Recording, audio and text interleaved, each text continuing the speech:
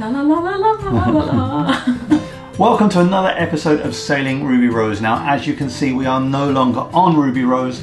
Ruby Rose is now sat comfortably in a marina in southern England waiting for the sailing season. We are in New South Wales in Australia and we are sailing this, a Seawind 1260. Now there's a few reasons for that. Reason number one is because we no longer have a boat and our new boat isn't coming to the end of this year. Reason number two, and probably more importantly, we are transitioning from a 38 foot monohull into a 45 foot performance catamaran. To us, it made a lot of sense to learn the ropes on a slightly smaller version of the boat we're going to get.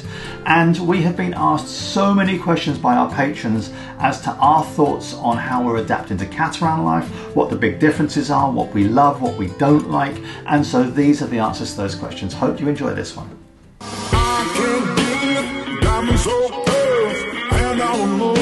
Take you traveling the world.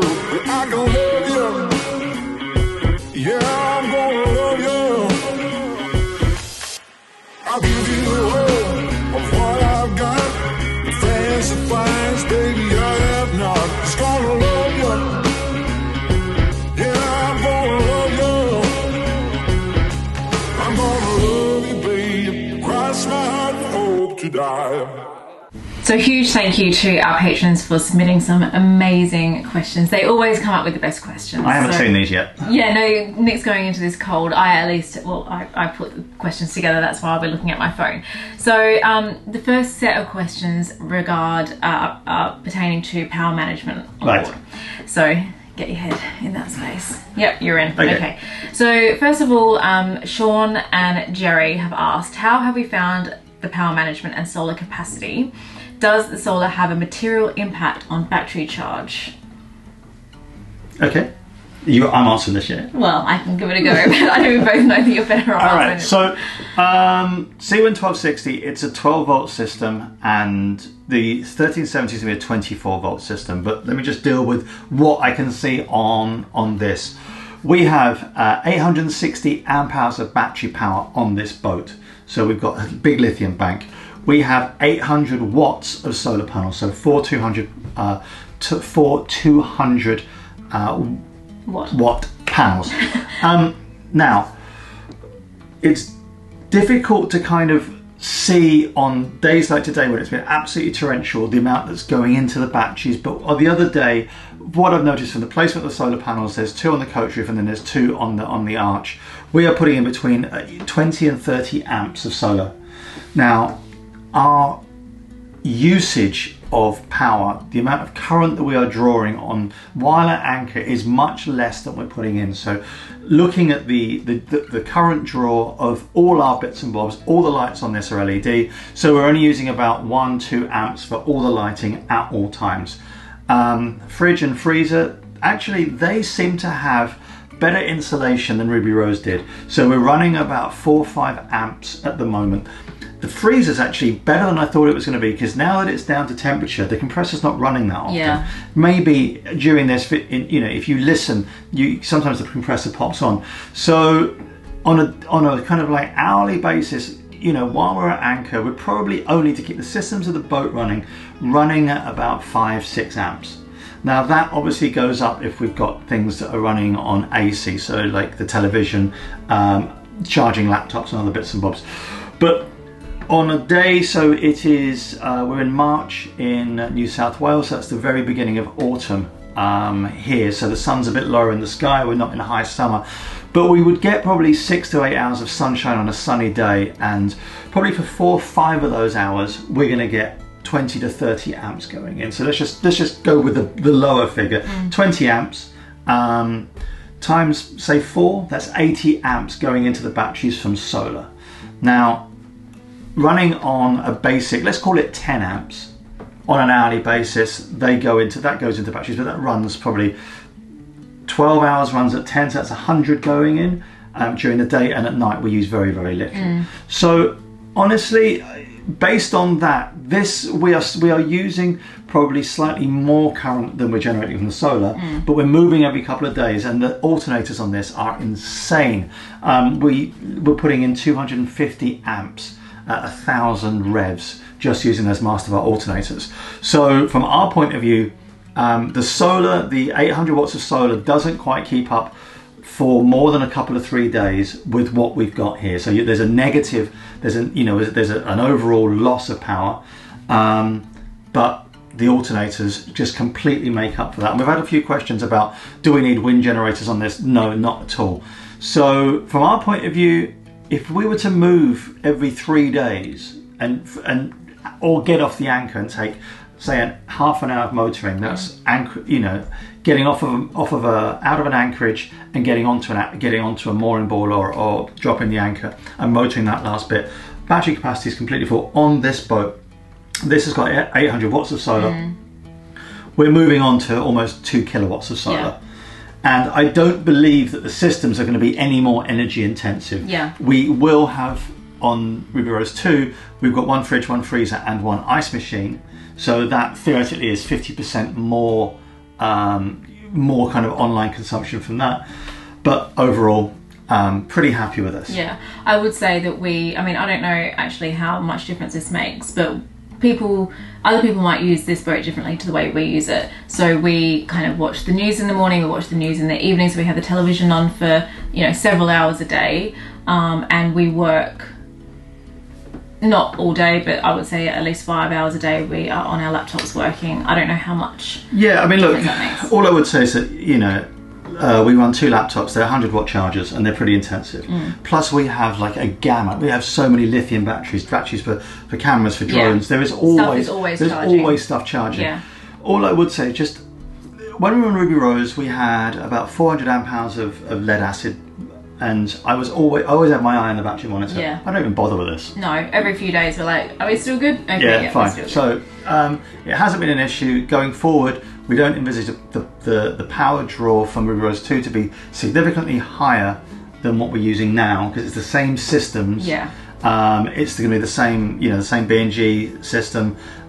Just we got, we have 50% more in fridges, and those fridges and freezers are the things that kind of like have the most constant. but we'll have const- more than twice as much solar.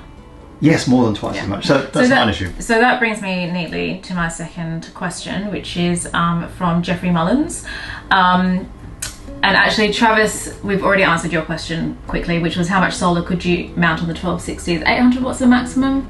Uh, I don't know. I mean, this has got eight on it, so four panels at 200. Um, I think you probably struggle for space moving forward because you do need to get onto the kind of bimini top to put the sail away. Yeah. Um, and this model doesn't have flexible panels that you can walk on. Yeah. So, um, not sure. But We, we'll get an answer and we'll write it down, Yeah. the, down the bottom. Uh, Jeffrey um, asks, is it necessary to have a genset if you want air conditioning? We've been asked this loads of times. No, absolutely not. So we've talked to Seawind um, a lot about this. There are a lot of new systems for aircon coming online, and someone actually on the 1370 uh, WhatsApp group that we run actually put the answer the other day. So the way that aircon works is that to get that you need like a big kind of current draw to get the thing up and running when it first starts off, and then it kind of goes into like a, a low low current draw mode. What is that lower draw? It's about four amps. Okay. So, but the new systems will run perfectly efficiently without um, without that kind of like huge startup control. Ah, okay. So um, we are having aircon on Ruby Rose 2, but we are not having. Um, we don't need a genset for it. Yeah. And I don't want the weight or the frustration No. or the reliability problems of a genset. Yeah. And I suppose the question, would you need a genset on a 1260 if you wanted air conditioning on a 1260? It would depend on how much solar you could put on. Um, well, theoretically, if you put the same system that you put that, that's on the 1370 onto a 1260, you wouldn't need it. no. So I think the system's the same, the draw is the same. It's just, and you know the battery capacity on this Hmm. is probably about. I think it is. It's those two 500, you know, 500, uh, 5,000 watt hour lithium batteries. So it's still a big bank on this. Yeah, okay. So yeah, you could you'll be fine. Right, the next uh, set of questions pertain to the galley down and also storage. And they're kind of, you know, pr- pretty much one and the same. Um, so Wes says, what's our opinion on the galley down? And Sean and Jerry again says, are there enough, is there enough storage for provisions? Um, are the drawers full depth? Um, are the safety latches easy and convenient? So essentially, you know, the, the kind of practicalities of um, the galley itself and the build quality of the galley. So, well, I'll, I'll take this one since you had so much to say about the solar, etc. Knock yourself. It should be mentioned at this point that Nick is the resident chef. I You hate- have, been, you have been peering down and demanding food from me on a regular basis, like some sort of baby sparrow with its beak open. I do make the occasional cup of tea um, and um, bowl of muesli, Yeah, more that. Anyway, so I can. I don't know if I've got the authority. But, pray speak on the matter of cookery aboard. Well, um, okay, first of all, I have said this before and I'll say it again. I believe on a catamaran of about this size, I'm going to say sub 45 foot, uh, a galley down makes perfect sense because that space in that the hull would otherwise be given over to uh, guest space and also like the, the extra shower room heads whatever kind of arrangement is down there.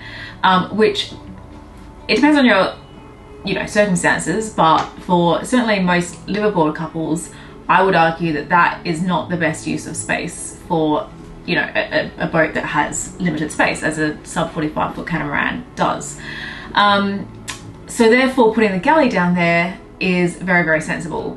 If you were to have the galley up here and we've seen this in lots and lots of uh, kind of 42-ish foot catamarans you end up having not only a smaller galley but a much smaller saloon. Um, you can see that this saloon is ginormous, particularly given that this is only a 42 foot catamaran. Like this saloon is huge, Yeah. is it not? Look, yeah, look, honestly, the amount of space that we have, I mean, that's with this door closed. When, Right. you, when you got the door Well, open. we'll come to the Okay, door. so yeah. So the galley down is it gives you a bigger galley, a bigger saloon um, for the size of boat. And in this particular design, and there's not that many catamarans with galley down, so there's only a few to compare to. But in this design, you don't feel particularly detached. That galley is still very light. Um, it still kind of communicates fairly well with the saloon. Uh, and as I said, it's very, very functional. I like the galley down in this particular um, catamaran. I think clever use of space is something that we're going to hear a lot about during this discussion. All I would say that a lot of the things we get um, about galley down, and one thing that does spring to mind is the Antares 44. Yeah. Now, when you see the Antares 44, there is um, the the sofa in the saloon pan. You kind of like comes round, but there's a panel you can remove so you can look down into the galley. Yeah. Um, and that was a feature of the, the the Antares 44 that I really liked. However, you lose the end seat. Yeah. Um, this there is a, you can see straight down. So Yeah. while you can't, you don't have a line of sight on the person. You can still converse. But is it as kind of open and free as you you know? And is it is it kind of as engaging for the person cooking if uh, as it you as it would be if you had the galley up? No, it's not. Is that something that we're willing to put up with to get this extra space? Yes, of course Yeah, it is. sure. And what I would say to you is, apart from today, uh, when it has been absolute torrential rain, we haven't cooked down there. No, We don't cook down there. that's true. so the We've been cooking on the barbecue. so basically, outside there's a sink, um, tap, and a barbecue, and that barbecue is coming to Australia, where you know the, the kings of barbecue, they have uh, plates rather than kind of like the, the the griddles. So you can cook anything on that thing. So eggs and all sorts of stuff. So we have done no cooking down in that galley. No. We literally go down there to to pick up a, you know to go to the fridge, and you can get a fridge out there. There's a fridge out there, so yeah, so really, um, unless it's raining, there is no need to Mm. use the galley for cooking. So another question, the question from um, the other question in that kind of segment was about storage space in the galley.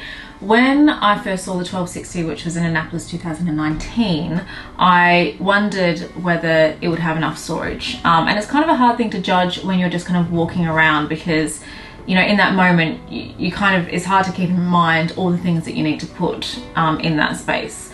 But having um, kind of used that galley a reasonable amount of time. Let me just let me just let me just chip in. Having used that galley for a reasonable amount of time, while Terysa occasionally said, "Where's the tea bags?" Um, there, for, there is enough. There's, there's more. There's There's am- than there's ample storage. However, I am going to put a, uh, I'm going to put a caveat onto that. I think that storage by volume there is enough in the galley, right? Storage by weight. This boat at 42 foot is a little bit sensitive. Is sensitive to weight. Yeah. So I personally, and this is we go, we're going to do this as we go through Ruby Rose 2. Everything is like that. You know, what's the weight of that? What's the weight of that? What's the weight of that? If you want to kind of like go down there and put like, oh, I'm going to put a microwave in, and I'm going to put a really heavy coffee machine in, and I want a, you know, a, a, a, one of those ninja blenders, mm-hmm. and I want an Instapot, A Nutri, Nutri whatever, bullet. a Nutribullet. Not a ninja uh, blender. they call it ninja, aren't they? Really? Yeah. Anyway. Oh, I don't know. But anyway, if you We'll get if you want to go and put like because when we when we kind of got all our stuff off Ruby Rose, we must have had like 30, 40 kilos We of had so kitchen stuff, stuff. and we left things like the bread machine and all the other bits and bobs. So, kind of. What we were saying about weight on these catarans is it's not like you buy a cataran and then suddenly you're like, oh, I better put some lead bars in there Mm-hmm. and I'm going to put my copper ingots in there and oh, where do I store this cement? It doesn't work like that. What we have seen from our own experience as liveaboards and also from kind of like visiting other boats is it creeps up. It's Yeah. like, oh, five kilos there, oh, I'll put that there. And every year, thing like Yeah. gets heavier and heavier and, And heavier. so, my personal thoughts would be: this boat is perfect, but you've got to you you can't just fill it full of junk. Yeah. Otherwise, it's going to sink and you lose performance. Yeah. As per all the interviews with- that we did with Antoine about how sensitive catarans are to weight. Yeah, and in terms of how like secure are the latches, I mean, this boat, as we said um, in our review uh, two years ago, that will be linked down in the description because probably some of you will want to watch it, um, and I'll link it up here as well. Um, the the build quality is fantastic. So all of those kinds of fittings and fixtures are of really high quality. So there's no like kind of issues with that at all. Like if you close something and you put the you know the little latch in, then it stays closed and locked. So I've not noticed any issues. And so this is a 2019 boat. We're in 2021, so it's two years old. Yeah. But it's in charter. Yeah. So this boat, and it's I think it goes for weekend charters as well. Yeah. So basically, uh, during the high season, it's ch- it, it has a lot of traffic. Yeah. It's not you so it, it, um, not like it's been untouched no, years. it's a, it does it, it, it, it you know it does get a lot of use.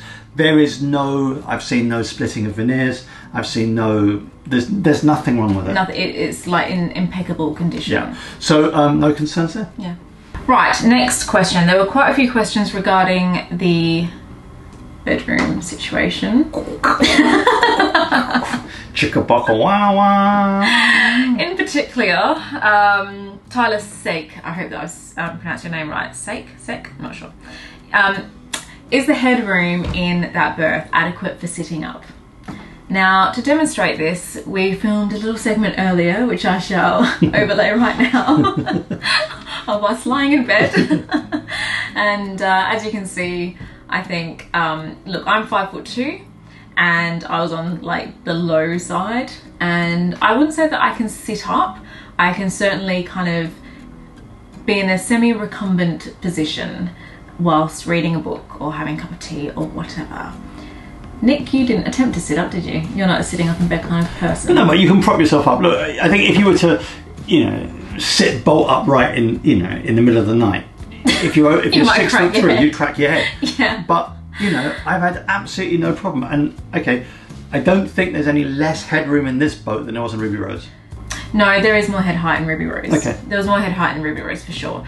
But um, to me, look, that was something that I was kind of like, uh, I wouldn't say there's a problem. Um, as Nick said, if you are like literally sitting upright in bed, then you probably won't be able to do that. But if you're happy to recline whilst reading a book or whatever, then you'll be fine. The biggest issue actually regarding the head height in the bedroom, um, well, I wait with bated breath. Pray speak to the to this audience of, Actually- of, of clean-minded people. there's probably two issues, but we'll just stick with the one. Okay, I'll let you use your imagination regarding the other. what are you talking about? What else might you need a bit of head height in the bedroom for? The fact that you can't. Archery? Archery?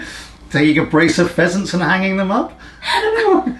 Oh, that's what the hatch is for. That's what it was meant to be me that had the kind of slightly weird way of approaching a professional YouTube. Anyway, carry on. I think it's important to mention that people need to know. Yes, obviously, if you're going for the Mongolian cluster, then uh, and his arms and legs all over the place, and you look like a couple of epileptic spiders fighting in a biscuit tin, you may struggle with the lack of headroom. If, however, you're happy to just not go the full kind of you, reverse can, you can just you can just take your activities into the after cabin where there's plenty of headroom.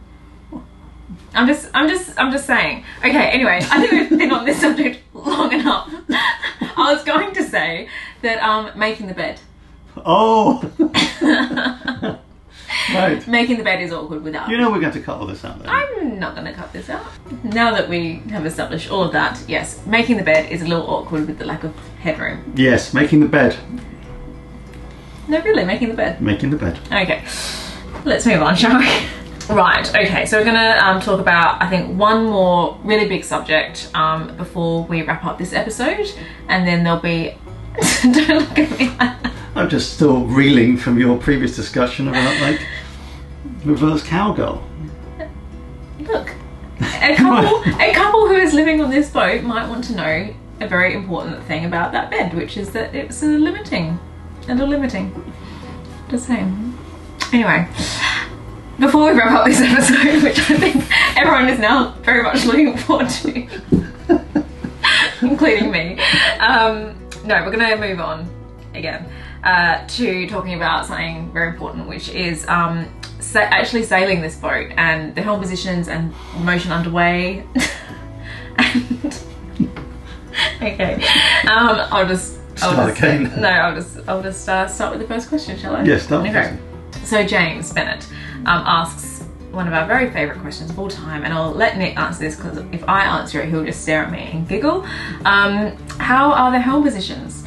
James actually said at night. We've not sailed this boat at night, but we can still answer them. The concerns that people always seem to have about this is to do with the double glare from the windows in front of the helm stations. Yeah. They're all electric and they go up and down, and we haven't sailed with the windows up.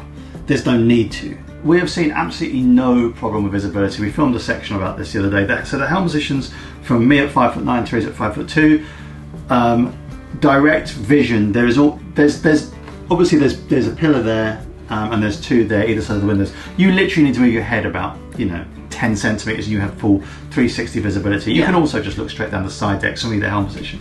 So visibility, uh, helming hasn't been a problem at all. Or all I would say is that it's drier than it was on Ruby Rose. It's a lot drier here, um, and there were side clears, so you can literally sit drinking a cup of tea, and yeah, Yeah. it's pretty. It's- Again, and this is this is not something that's specific to to, to, to to this boat.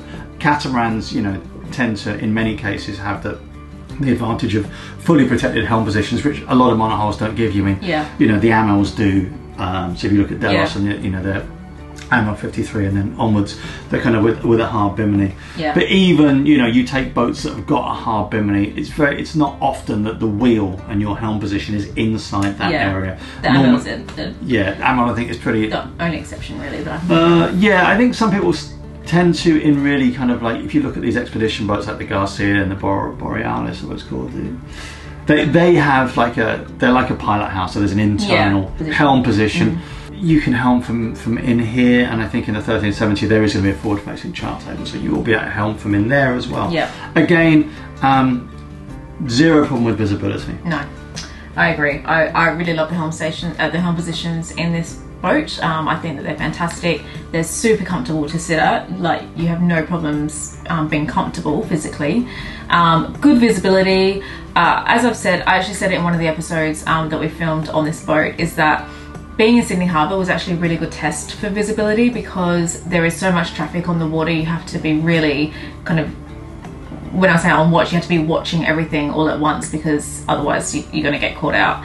Um, so it was actually a really good test to see exactly where the blind spots are. Um, and and you know there are a couple of blind spots as Nick says, but that you only need to move your head a little bit to the side and you see around them. So I think that the payoff of that is the really lovely, well protected helm station.